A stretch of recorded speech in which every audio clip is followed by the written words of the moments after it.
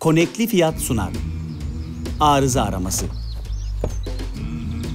Diyelim ki aracınızın gösterge panelinde dizel partikül filtre uyarısı yanıyor.